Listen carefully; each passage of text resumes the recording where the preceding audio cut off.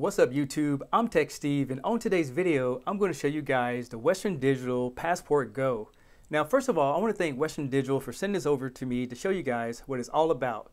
Now a Passport Go is a portable hard drive that uses a solid state hard drive so you can actually back up your files, your computer, and also transfer pictures and videos. So sit back and relax, let me tell you all about it.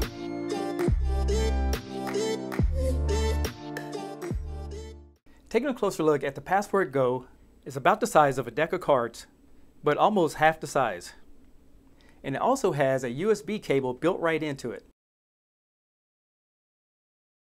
They do make this Passport in two different colors. Today I have the amber one, but they also make a blue one. And it's available in two different sizes. Here I have the 500 gigabyte, but they also make one terabytes if you need that additional storage. Another thing about this Passport is very durable.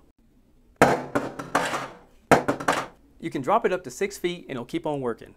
But the one thing I want to do now is show you how fast it is compared to some other hard drives.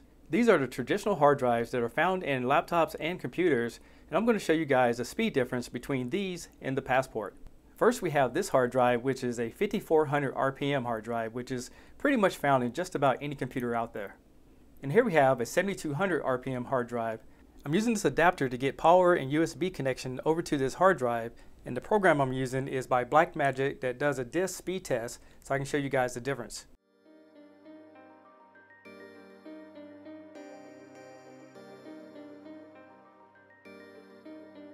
Now let's check out the 7200 RPM hard drive.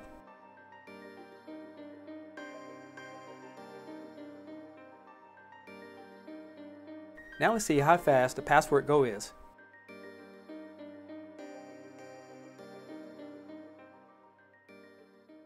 Wow, I'm very impressed with the speed results and why this is important is because whenever you're moving files from your computer over to an external hard drive, the slower it is, the longer it's going to take you to get things done. In addition to that, if you're playing any kind of videos off that external hard drive, it could cause buffering and sputtering and things like that. Now, Western Digital did claim that this hard drive is up to two and a half faster than the average hard drive, and after doing my test, I can verify that is true. This hard drive is compatible with the PC and Mac built-in backup programs, let me show you how to use it with Time Machine on this Apple computer. On Apple's computer, go ahead and hit the Apple's logo in the corner and click on System Preferences.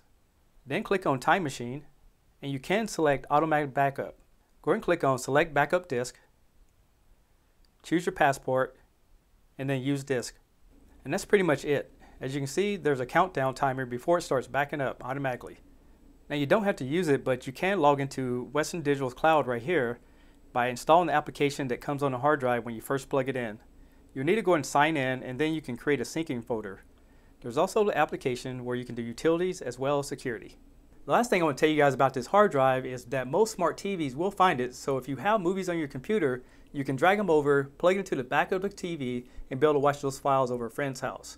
Also, I want to tell you that this is also powered off your computer, so there's no need for any type of extra connections, and it's very, very fast, and I think you guys will enjoy it.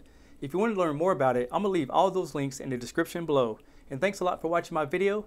Give me a thumbs up, subscribe to my channel, and I'll see you guys on my next video. Peace.